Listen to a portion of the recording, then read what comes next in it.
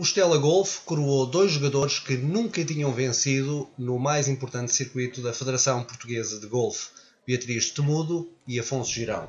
Qualquer um deles já brilhou anteriormente na seleção nacional e a nível individual.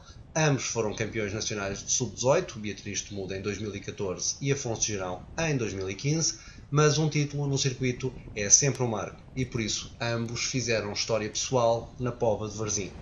Beatriz Temudo partiu para a última volta com duas pancadas de atraso em relação à líder da primeira volta e campeã em título, Joana Mota, mas uma segunda volta de 77 pancadas, 5 acima do par, permitiu-lhe triunfar com um total de 161 mais 17 Inês Barbosa voltou a ser a segunda classificada, tal como no ano passado, desta vez com 163, enquanto a vencedora de 2015, Joana Mota, foi a terceira classificada este ano com 165. Eu estava a duas pancadas da primeira classificada, que era a Joana Mota. Um, comecei a jogar muito bem. Passei no, ontem passei nos, buracos, nos cinco primeiros buracos, nove acima e hoje passei a uma, uma acima, portanto aí consegui equilibrar as coisas e mantive-me calma.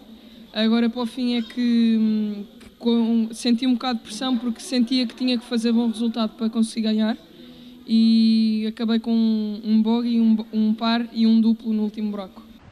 No torneio masculino, Afonso Girão estava a uma pancada do líder, o seu irmão gêmeo João, no final dos primeiros 18 buracos, mas uma segunda volta de 70 pancadas, duas abaixo do par, a melhor de todo o torneio, levou à tão saborosa vitória com um agregado de 147 mais 3.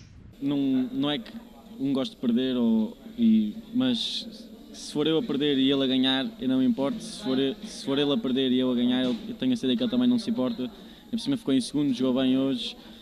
Por isso, acho que isto, se ficar entre irmãos, eu acho que fica bem.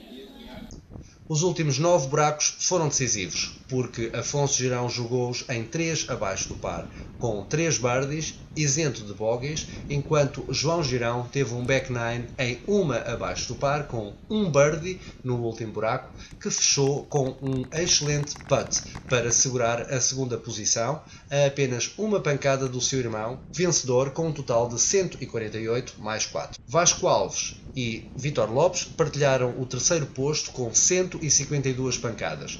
O próximo torneio do circuito da Federação Portuguesa de Golfe disputa-se a 21 e 22 de abril em Praia del Rei, na zona de Óbidos, uma das novidades do calendário de 2016.